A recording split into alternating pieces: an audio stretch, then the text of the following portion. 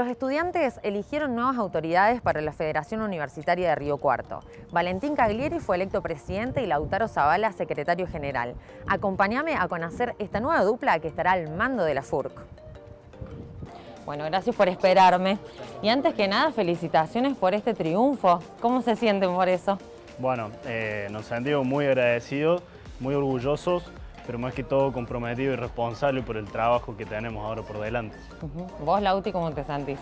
La verdad que contento, eh, también agradecido con, toda la comunidad universitaria que volvió a confiar nuevamente en Dinámica Estudiantil para la conducción de la federación, así que eh, demasiado contento y también, como decía el Vale, comprometidos por estos dos años que se nos vienen de puro trabajo. Ustedes como agrupación ya estaban en la conducción de la FURC, pero ¿por qué creen que los estudiantes siguen apostando por, esta agrupación, por dinámica estudiantil? Yo creo, en principio, por el trabajo que hemos hecho a lo largo de los años y eh, a lo largo del año, en todo el periodo de gestión que hemos tenido, ya sea de federación o de los centros de estudiantes, en ningún momento hemos pasado por momentos de pasividad, sino siempre de actividad y de trabajo. Creo que eso es una de las cuestiones que, han sido importantes y que se han notado en el estudiantado. ¿Y qué impronta como dupla le van a dar a su mandato o van a continuar algunos proyectos que ya vienen trayendo? Obviamente sí vamos a seguir trabajando con los proyectos que tenemos pendientes eh, de la gestión anterior porque obviamente la federación sigue con la misma bandera pero eh, como dupla traemos una nueva impronta que lo hemos dicho durante la campaña y bueno, esperamos así cumplirlo en estos dos años con cuatro acciones fundamentales. La primera es fundamental bregar por el bienestar estudiantil. La segunda es fortalecer eh, la vinculación académica. La tercera es la vinculación que tiene la universidad con la sociedad, cómo aportamos los estudiantes hacia la sociedad y hacia, hacia el campus y hacia la comunidad universitaria. Y por último, el medio ambiente y la vinculación con las nuevas tecnologías que están eh, en auge hoy en día en la sociedad.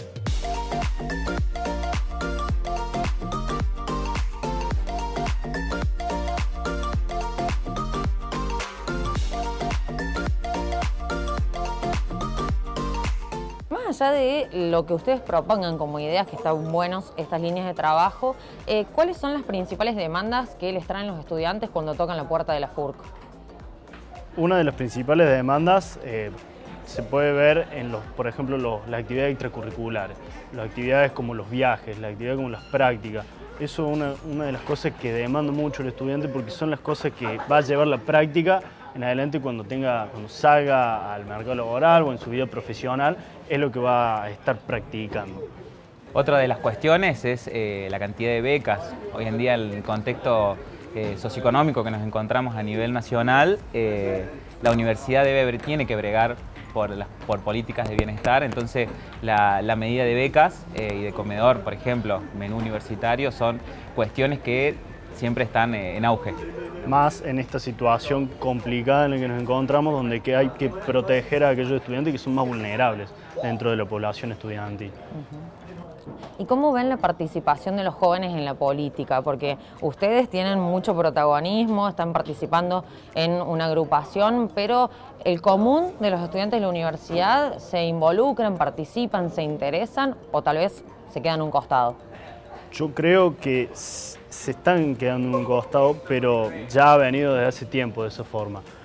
Sí estamos notando un cierto avance, como se ha manifestado en, lo del 23 de abril, que se están incorporando a la política y de a poco los estudiantes se están sintiendo involucrados y afectados, que es lo más importante. Además, eh, bueno, sumando lo que dice el Vale, el hecho de, el día a día es político, el hecho de venir a una universidad pública implica hacer política, el hecho de estar en, las aulas, en las clases, es un acto político, así que bueno, nuestro trabajo es fomentar y dar el reconocimiento que tiene eh, el hecho de participar, sería de, otra forma en la vida política e incluso en la vida política universitaria. Y para conocer un poquito más su historia en lo, personal de ustedes, ¿por qué decidieron meterse en una agrupación estudiantil, involucrarse, participar, defender derechos? Yo vivo en las residencias universitarias, entonces eh, agradezco que esta universidad me haya abierto las puertas incluso para vivir acá. y, creo que desde, desde, la política uno puede aportar y contribuir a, y devolver un poco de lo, que le da la universidad. Entonces, bueno, fue un poco la impronta que me llevó a, mí a estar en estos espacios. De mi parte, yo creo que bueno, la mayoría de los que nos encontramos acá estamos por, si no es que todos, estamos por una motivación explícita y específica, que un mensaje genuino de querer aportar y ayudar a los estudiantes, pero no solamente a los estudiantes, sino también a la comunidad universitaria en general y querer ayudar a la sociedad en general. Porque hay como un arquetipo, los, chicos que se meten, las personas que están involucradas en el centro de estudiantes, que es que quieren aportar, quieren ayudar, quieren sentirse útiles, y eso es una de las formas que, bueno, en lo personal me, motivaron para involucrarme en un centro de estudiantes y decir, bueno, yo aporté mi granito de arena, yo pienso que puedo ayudar, pienso que puedo ser útil, y bueno, y esto es lo que puedo aportar, tiempo de vida y mucha energía. y dentro de la diversidad que tenemos, ¿con qué valores sociales, políticos, humanos ustedes creen que se sienten más identificados? Desde Dinámica Estudiantil, bueno, nosotros pregonamos mucho lo que son los valores dentro de la agrupación, que es algo que va a mantener la estabilidad en la agrupación, y esos valores son seguir estudiando, seguir siendo un estudiante, que la agrupación estudiantil no sea algo único, sino que se lleva adelante a la par simultáneamente con la carrera que sean personas humildes, sean personas estudiosas, trabajadoras y que realmente quieran trabajar y ser referentes políticos, pero personas también, referentes como personas. Me parece que es una de las cuestiones fundamentales y que queremos nosotros impulsar eh, desde Dinámica Estudiantil. Incluso, bueno, ya el mismo nombre, el Dinámica, es el dinamismo. Nosotros vegamos por el dinamismo de la gente eh, que está dentro de nuestro espacio y el dinamismo de ideas viene uno con una idea, bueno, sí, vemos cómo la llevamos adelante. Eh, también, bueno, sumando lo que dice el Vale, es poner a la par la actividad que tenés como federación o como gestión con eh, tu, carrera, tu carrera universitaria, sin olvidar que principalmente sos estudiante. Eh, siempre recordando eso. Y otra de, de los valores que tenemos muy recalcados es el servicio. Nosotros servimos a la universidad la universidad nos sirve a nosotros, pero genuinamente nosotros también servimos a la, comunidad universitaria y así también a la sociedad. Es como un acto de devolver, eh, también hablando del tema de las motivaciones, un acto de devolver lo que nos facilita la universidad y la sociedad en sí, porque es lo que nos hace poder mantener, estar acá. Eh, y otra de las cosas también es la heterogeneidad de ideas. Al ser una agrupación partidaria, lo que tenemos es que hay chicos, eh, individuos distintos, con distintos ideales, con distinta ideología, y todos son válidos, todos son válidos para escuchar y tenerlos en cuenta. Y en base a eso, lo que dice Lauti, debatimos, charlamos y vemos qué es lo mejor para el estudiante y para la comunidad universitaria.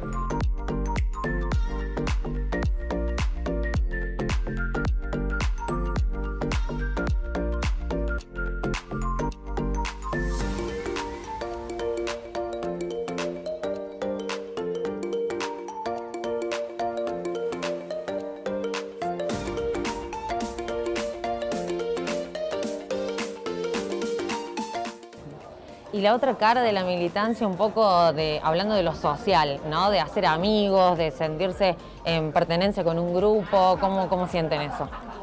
Trabajamos en la federación o en cada uno de los centros, pero nos hemos convertido en un grupo de amigos.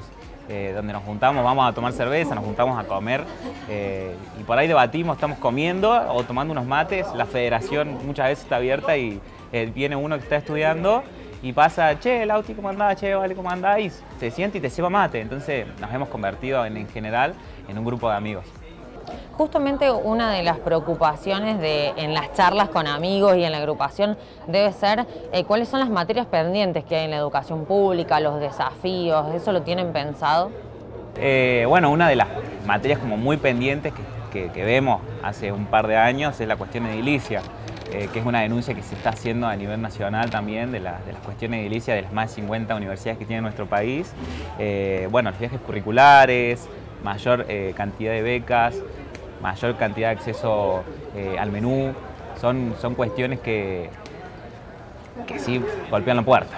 Y después también el tema de los viajes, para que no pierda la calidad educativa, que eso me parece fundamental, que esas cuestiones de disminución económica posibilidad por ahí que hay, en la parte económica de la universidad afecte la calidad educativa, porque después estos profesionales que salen van a salir a la ciudad, van a salir en el país, y esos son los que bueno, van a estar trabajando. Entonces por eso pensamos que hay que darle la mejor calidad educativa para que impacten lo mejor posible el país. Sí, bueno, y sumando a eso, otra de, las cuestiones, obviamente se nos van a escapar porque son muchas, pero otro de los puntos muy importantes es la vinculación que tienen los estudiantes con el medio. Eh, si bien casi todas las carreras tienen prácticas profesionales eh, o profesionalizantes, dicho mal y pronto, de, tener el contacto con, el medio a partir de experiencias, eh, no tanto académicas de leer un libro, sino de, experiencias de verlo, de, tocarlo. que es algo que pensamos que se está tratando, se está tratando de hacer. Se nota, las autoridades lo notan, a esa quizás gran cantidad de teoría que muchas veces es muy importante y es muy necesaria, pero muy importante también la práctica y sea lo más rápido en este mundo que es tan rápido y en permanente cambio.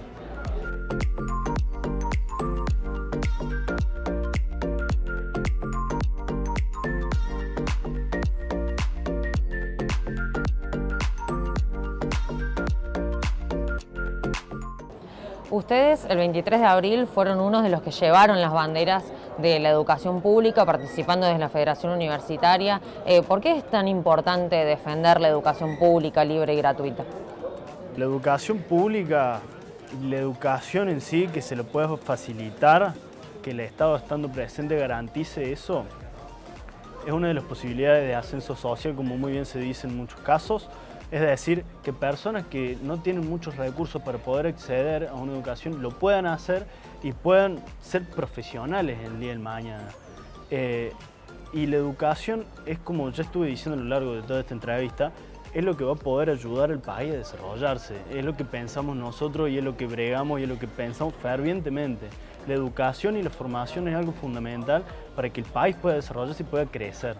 Incluso, bueno, sumando un poco lo que decía el Vale, la educación es uno de los pilares eh, y el sostén que tiene cualquier país, eh, indistintamente de donde se encuentre, el hecho de bregar por una educación eh, de calidad y en este caso nuestro país cuenta, y la verdad que me pongo muy orgulloso de, decir esto, cuenta con más de 50 universidades públicas, gratuitas, que le permiten a más de 2 millones de estudiantes acceder a una, a una educación. La verdad que eh, creo que es el, camino, es el camino de salida. La educación tiene que ser el eje y tiene que ser el eje principal o uno de los ejes principales para que la Argentina crezca y no pare más. Y volviendo un poquito a Río Cuarto, ¿qué mensaje le van a dejar a los estudiantes que los apoyaron nuevamente en las elecciones, que apuestan por las ideas que ustedes tienen eh, y que obviamente están esperando sus acciones? No solamente le vamos a hablar a aquellos que nos votaron, sino también a aquellos que no lo hicieron, porque vamos a tratar de hablar por todos ellos y tratar de representarlos a todos. Y el mensaje que le vamos a dejar a todos ellos es que vamos a trabajar, independientemente de los resultados, vamos a trabajar incansablemente, porque eso es lo que queremos nosotros genuinamente, hacer ese trabajo y poner tiempo de vida, energía y el cuerpo y el alma para poder mejorar y aportar eh, ese granito de arena para darle a la comunidad universitaria. Sí, un poco también, eh, bueno, nosotros tenemos que dar el mensaje, pero el mensaje lo hemos recibido en principio desde la comunidad universitaria, particularmente los estudiantes eh, en el escrutinio, en los resultados que hemos tenido y también un poco en lo que fue la convocatoria estudiantil en la marcha del 23. bueno, son mensajes que recibimos constantemente, entonces eh, la verdad que, nos pone muy feliz, en principio, que los estudiantes nos hayan dado la, posibilidad de, que, de ocupar este lugar. Eh, y bueno, vamos a trabajar incansablemente para enaltecer en principio a la Federación Universitaria, que es el espacio donde estamos, pero también a la Universidad Nacional de Río Cuarto. Creemos que la universidad puede seguir creciendo, puede seguir abierta y puede seguir trabajando para que todos los estudiantes sigan en las aulas. Bueno chicos, muchas gracias por abrirnos las puertas de la FURC y conocerlos un poquito más. Gracias, a ustedes y están siempre bienvenidos. Valentín Caglieri y Lautaro Zavala. Queríamos que conozcas esta nueva dupla que va a conducir los destinos de los estudiantes de la Universidad Nacional de Río Cuarto hasta 2026.